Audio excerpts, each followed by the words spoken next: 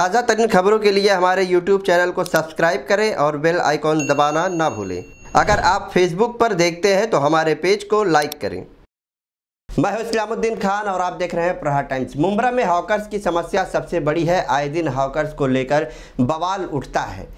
Rajiv Gandhi hawkers union के लोगों को मित्तल में मार्केट लगवा दी गई है, मगर इसके अलावा जो और भी हॉकर्स यूनियन है, वो दर दर की ठोकरें खाने को मजबूर है। ऐसे में रविराव शरद राव महाराष्ट्र हॉकर्स यूनियन के रफीक। आप लोगों को जो मित्तल में भेजा जा रहा था तो आप लोग फिर क्यों नहीं गए? जिस तरह से राजीव गांधी हॉकर्स यूनियन के लोग गए तो आप लोग फिर क्यों नहीं गए वहाँ पर? महेश आयर साहब ने गुलाब पार्क के इरशाद भाई को लेके 400 गाली की जगह दे दी है। दूसरी यूनियन है भी या नहीं भी जानने की कोशिश उन्होंने किए नहीं। हमारे अलावा भी एक और नई यूनियन है उनको भी उनको कहना चाहिए था सबको मिला के आपके अलावा एक यूनियन और भी है। और भी है अपने हनीफ भाई कामदार की यूनियन है तो उनका काम था कि सबका संगठक करके एक साथ सबके कूपन डाल के टोकन उठा के उनको अपनी अपनी जगह बिठाना चाहिए था।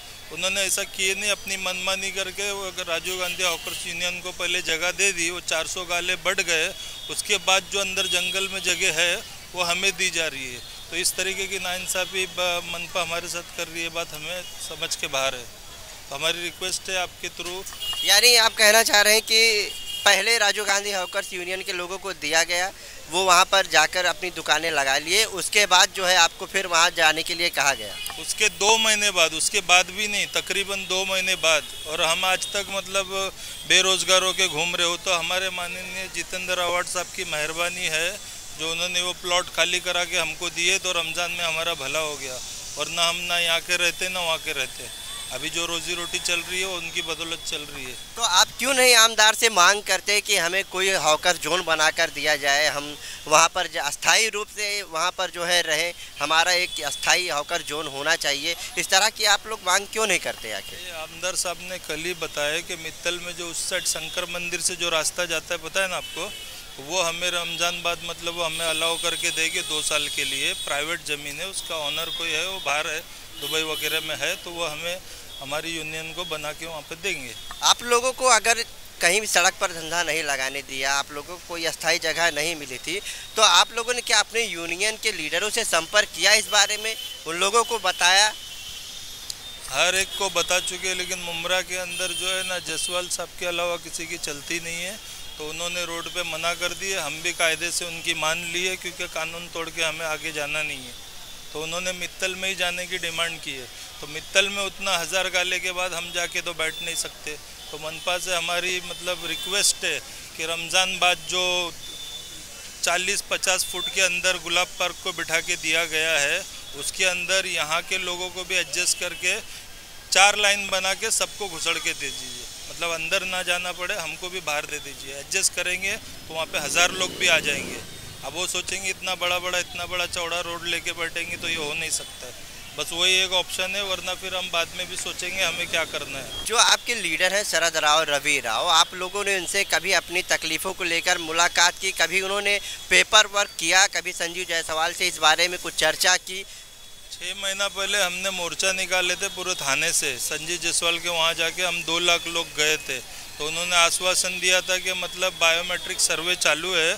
हम बहुत जल्दी इनको लाइसेंस अलाउ करेंगे और आपके लोगों को बिठा के देंगे।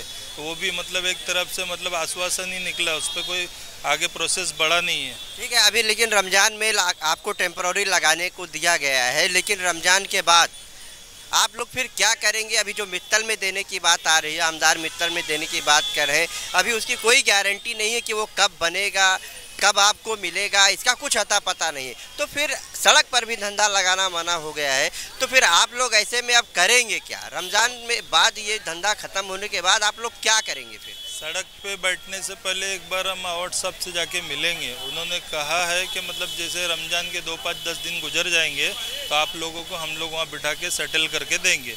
और उसमें हम सब मिलके मैं रफ़ीक काम हनीफ कामदार हम सब मिलके अपनी यूनिटी बना के वहाँ जाके बैठेंगे। हमें भी रोड पे बैठने कोई अच्छा नहीं लग रहा है। आप कह रहे कि रमज़ान के बाद जो है आप लोग भी मित्तल में जाएँगे। जी बे बेशक जाएँगे क्योंकि हमें पुलिस प्रोसेस से पंगा लेना नहीं है।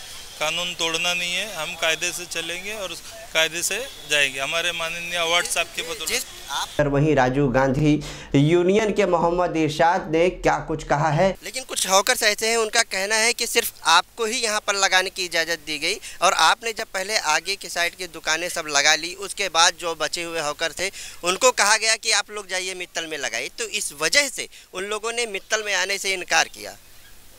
ये तो उनका पर्सनली मामला है। असल देखा जाए तो देखिए पहले हमारा पर्सनली कैसे है कि आपको पहले इजाज़त मिल गई आप पहले लगे? अगर मित्तल में देना था तो सभी हॉकर्स को बिठा कर एक जगह मीटिंग करके उसके बाद कूपन डाल के सभी को देना चाहिए ना। ना कि सिर्फ़ आपके यूनियन के ही लोगों को इसमें अलाउड की जाए एक ही जगह पर दुकान मिले और आगे के साइड मिले। जो हॉकर्स बच रहे हैं उन्हें फिर मित्तल में इधर उधर कहीं भी लगाने की इजाज़त दी जाए। तो फिर कैसे ये उनका पर्सनली हो गया? देखिए कैसा है जब कार्रवाई होती है कोई प्रशासन के पास जाता नहीं है। पहली बात तो ये है। दूसरी बात लोग कोर्ट में भाग के जाते हैं। ठीक है? इनके थ्रू उनके थ्रू कोर्ट में जाता है लोग। और हमारा जो काम है ना जब भी कार्रवाई हुई तो मैं प्रशासन के पास ही गया। मैं किधर ना इसके पास उसके पास कहीं भी, भी नहीं गया। किस प्रशासन के पास गए? किस नेता के पास गए? किस टीएमसी के पास गए? किस नगर सेवक के पास गए? कहाँ कहाँ आप हम सिर्फ़ टीएमसी के पास जाते हैं। टीएमसी हम टीएमसी को मैं लेटर देता हूँ। टीएमसी हमारे को कोऑपरेट करती है। जब कर, कार्रवाई होती है तो मैं कहाँ जाऊँगा? टीएमसी के पास ही जाऊँगा ना। और उसके बाद जब हमको कुछ समझ लो सोर्स लगाना रहता है तो मैं अपने आमदार के पास जाता हूँ। जब भाई हमारे शहर का आमदार है तो हमारा काम है उसके पास जाना। मैं तो सबसे बोलता हूँ भाई आप लोग भी जाइए आमदार के पास। उनको बोलिए उनसे उनके पास गुहार लगाइए आप भी। अगर आपके ऊपर ना- आपके ऊपर भ्रष्टाचार का भी आरोप लग रहा है कि आप यहाँ पर जो गाले देते हैं तो वो गाले एक दूसरा आदमी खरीदता है और फिर दूसरे हॉकर्स को उससे कई दून कई गुना ज़्यादा दाम में उस गाले को वो बेचता है। तो आप अगर राजीव गांधी हॉकर्स यूनियन के अध्यक्ष हैं तो आप इस चीज़ को क्यों नहीं रोकते हैं? देखिए पहली बात ऐसा है ना मेरा काम है सिर्फ़ टोकन देना। मैंने टोकन आप दिया। आप अगर अध्यक्ष हो तो आपकी सारी ज़िम्मेदारी बनती है कि आप इस मार्केट में क्या हो रहा है क्या गलत है क्या सही है उसको आपको रोकने में आपका फैसला अहम होता है। मेरा फैसला अहम है। मैंने इसके लिए ना गेट पे लिख के पहले लगा दिया। ना कोई बेचेगा ना कोई भाड़े पे देगा। हम वो लिखना एक अलग बात है। आप आप कर, कर क्यों नहीं रोकते उसको? कमाल की बात कर रहे हो आपको खबर नहीं है आप यूनियन के अध्यक्ष हो आपको खबर नहीं है। ऐसे कैसे जब आप बताएँ हॉकर्स यूनियन में क्या हो रहा है आपको खबर मिल जाती है आपकी यूनियन में क्या हो रहा है वो नहीं खबर इस्लामुल भाई जब हम आप हमारे पास आएँगे कि भाई मैं इनसे जगह भाड़े पे ले रहा हूँ तो मेरे को मालूम पड़ेगा ना। कितने हॉकर्स हैं आपकी यूनियन में? मेरे चार सौ पैंसठ है। रोड पे चार सौ थे यहाँ पैंसठ बढ़ गए। नहीं नहीं चार सौ पैंसठ शुरू से ही है। चार सौ पैंसठ चार सौ कहाँ तक थे? तीन सौ नब्बे थे कहाँ तक? सिर्फ़ ये अपना राहुल अपार्टमेंट से लेके और ये अपना हबीबा तक के थे। उसके बाद जब हमने अजवा लिया ना तो पैंसठ हमारे वहाँ पे बढ़ गए। तो ये बात सच है कि लोग यहाँ पर गाले खरीदते हैं और दूसरे को बेचते हैं? ये मेरे को इसकी खबर नहीं है। खबर नहीं इस चीज़ का मेरे को इल्म नहीं आप अपने हॉकर पर नज़र नहीं रख रहे हैं कि आपके आपके हॉकर्स क्या कर रहे हैं क्या नहीं कर रहे हैं ये दुकान किसको आपने दी ये ये दुकान आपको किस किसको दी है ये दुकान आपने? जिसका है उसको दिया मैं सबका? अरे भाई वो तो मेरे को डायरी देखनी पड़ेगी रजिस्टर देखना पड़ेगा किसका है ये? ऐसे नहीं मालूम है आपको। ऐसे चार सौ पैंसठ आदमी को क्या जबान पे नाम याद रहेगा? नहीं लेकिन फिर भी हॉकर आप आपके इसमें हॉकर हैं तो आपको जानकारी होनी चाहिए कोई नया मार्केट में तो आप है नहीं। आप 400 का चार सौ पैंसठ कैलकुलेट किए हैं लेकिन दुकान किसकी है ये आपको नहीं मालूम है। नहीं ये तो इतना हम सबका नाम ही है हमको भी मालूम नहीं हमारे पास कैसा उनका पूरा प्रूफ जमा है रजिस्टर में सबका नाम है। जब हमको निकलना रहता है या किसी को बुलाना रहता है तो हम लोग रजिस्टर देखते हैं उनका फ़ोटो लगा हुआ है फिर उनको हमको बुलाते हैं। नहीं आपके ऊपर तो ये भी आरोप लग रहा है कि कई नगर सेवकों के जो है उन, लोगों को आपने जो है यहाँ पर गाले दिए हुए हैं। मैंने सिर्फ़ जो बाहरी से लोग आए ना जैसे नगर सेवक के हो गए और यानी अच्छा बाहर से कितने लोग आए? नब्बे और अस्सी। नब्बे और अस्सी। यहाँ शहर में जो परमानेंटली हॉकर हैं उनको आप नहीं रख रहे हैं। और जो है बाहर के लोगों को आप सुनो सुनो ये बात नहीं है। हमने उनको भी बुलाया था हम उनको सिर्फ़ हज़ार रुपये बोले थे। ये मीडिया में देखो बात भी आई थी कि इरशाद हज़ार हज़ार दो दो हज़ार रुपये लेकर भाड़ा मांग रहा है।